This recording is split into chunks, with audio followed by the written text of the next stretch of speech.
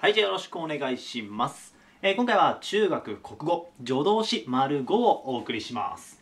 で、これでね、助動詞が5個目で、で、前回が、えっと、ないとぬ、んか、あれについて取り上げたんですけど、今回主役になるのは、だ、そしてですです。この2つね、について取り上げていきます。で、問題はたったの2問です。1問がまず表をね、これ完成させる。で、もう1個はこのなの区別をつける問題なんですが、まあ、その2問しかありませんので、まあ、できそうな子はね、ぜひ動画を止めてやってみてください。で、ちょっとね、確認してもらって、わかんないのがあれば、今からね、両方とも説明しながら、穴埋めとか問題解きながらね、やっていきますので、聞いてもらえたらと思います。いいかな？じゃあ、早速ね、まずポイントの方から確認していきますので、どうぞよろしくお願いします。よし、じゃあ行きましょう。で、今回助動詞だとですなんですけど、これね、前回のないとかと同じように結構イメージがしやすいです。で、だとですってどういう風に使うかっていうと、例えば、ほにゃららはほにゃららだ。ほにゃららはほにゃららですみたいな感じで使う。なんとかだ、なんとかですっていう。で、こういうのを断定の意味って言います。つまり決めるってこと。これはなんとかですって決めてるからね。断定の意味って言うんですけど、まあ、それを表すと。で、いろんなものにくっつきます。だとかですは。だから、体言とか一部の助詞、動詞や形容詞の終止形、いろんなのに接続する。ただ、ほにゃらら形っていうのが一応終止形に接続をするので、終止形に接続するってことだけ覚えておきましょう。で、まず表ですね。で、特にだの方がちょっと注意が必要で、まあ、行きましょう。で、まず未然形が、だろです。だろ。なんとかだろうとかですけど、だろうね。で、連用形が2つあって、だに、ちっちゃいつでだ。まあ、だったとかのだね。で、もう1個が、でです。ね、だってだね。連用形が。で、終始がだでしょで、今回連帯抜いてるんですけど、基本的に終止形、連帯形って同じじゃんか、ずっと。けど、ここ違うんです。だの連帯形は何になります？ここ注意してください。で、家庭形が、ならです。なんとかならばのならだね。で、命令はありません。で、付け足して覚えてほしいこともあるんですが、まずですのね、例と未然連用だけ埋めてしまいましょう。で、ですの未然は、でしょです。でしょうっていうね、のでしょ。で、連用形がでしです。でしたの時のでしだね。で、あとはですです。で、家庭命令はありません。で、何を覚えてほしいかっていうと、これね、だもですも連帯形の部分をちょっと覚えてほしくって、使い方がね、限定されてます。で、まず、だの方。もうなだね。なですね。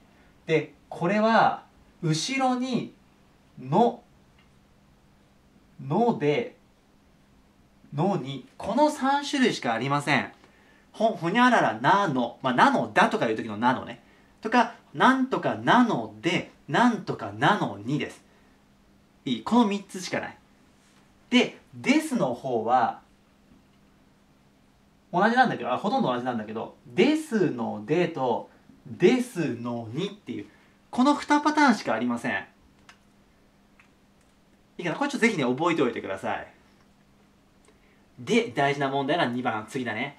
次の棒線部、な、ね、5箇所、7が、な、じゃながね、引いてありますけど、その中で助動詞を探しに行きます。ね、今助動詞のなってここにあるでしょ？だからこれを探しに行きたい。で、先に言っておくとですね、じゃあ青でしとこうか。じゃあ助動詞以外何があるのか？なはね。で、えーっと、どこまで入るかな？えーどうしようかな？どこにしようかな？ここでいっか。ちょっと横書きでいい？ごめんね。まず助動詞のなでしょ？助動詞。これ入っているねだよね。で次が一部なんだけど形容動詞の一部です。形容動詞ってなんとかだっていう時の何変わる言い方があるんだよね。だその部分。ちょっと一部なんですけど一応形容動詞で書かせてください。でもう一個。もう一個が連帯詞です。でこれも連帯詞の一部ですね。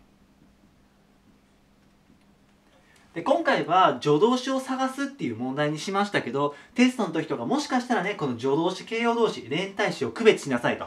例えば「あ」は何で「い」は何でって書きなさいって問題が出るパターンもありえますので、まあ、全部ね区別できるようになってくれるとありがたい。でまずなんですけどまず探すのはこっからがいいです。助動詞から。探すといい。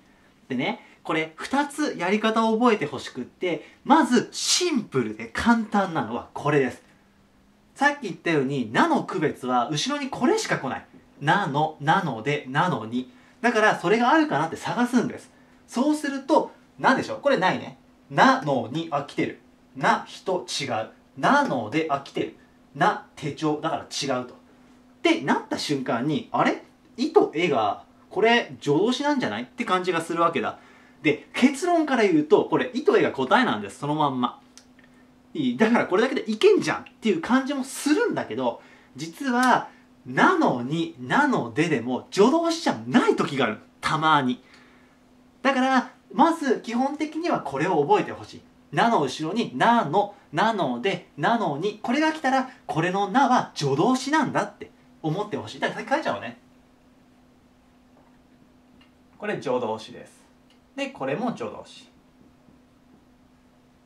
ね、だから答え先書いちゃうか。答えはちょっと飛びますけど「い」と「え」これが答えになります。でもう一個の区別の仕方です。いいもう一個の仕方。それはキーワードがどこに書こうかな？えっとここでいいか。ことと時。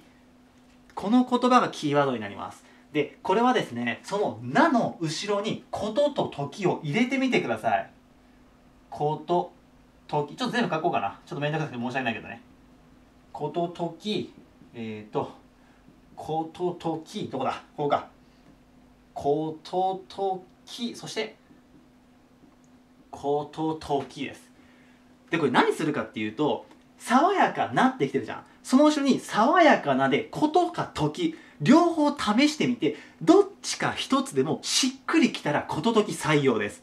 でどういうことかっていうと爽やかなこと爽やかな時これまあ爽やかなどっちもいけるか、まあ、爽やかな時とかちゃんと言えるよね。だからこれことときが入ります。次。もう春だから春なこと春な時というね。でこれね春な時ってピンとくるかもしれないけど意味としてはおかしいんだよ。だから春な時。これ春なことは当てはまりません。春の時だったらまだいいけどね。でいろんなこといろんな時。これは当てはまるね。言葉として。事実なこと事実な時。これも言葉としておかしいんです。だからこれも×で小さなこと小さな時。これはねどっちかか当てはまあどっちも当てはまるか。ちょっとねこう判定として微妙なとこも出てきちゃうんですけどことと時を入れてみて当てはまらなかったら助動詞になります。これがもう一個覚えてほしい。助動詞の判定方法。ことときを入れて当てはまらなかったら助動詞です。いいかな？だから「い」と「え」が当てはまらないんですけど。じゃあこれで助動詞は判定が終わりましたと。で残りの形容動詞と連帯詞なんですがこれはもう助動詞が終わった後ねだから「い」と「え」がカットされて「あう」を調べに行きます。でその時のこの2個を比べるキーワードは「だ」です今度ちょっとねいろいろごちゃごちゃして申し訳ないんですけど「だ」ね。でこれは「な」の部分を「だ」に変えてください。じゃあ3箇所書こうか「だ」でしょ「だ」そしてここも「だ」で読みます。爽やかだ。いろんだ。小さだ。はい意味が通じるの。ここだけだね。爽やかだって意味わかるでしょ？いろんだっておかしいね。で小さだっておかしいね。この「だ」で意味が通じるやつ。これが形容動詞になります。丸にしとこうか。形容動詞。で意味が通じなかった「いろんだ」「小さだ」これが連帯詞です。ちょっと「体の方で書いておくね。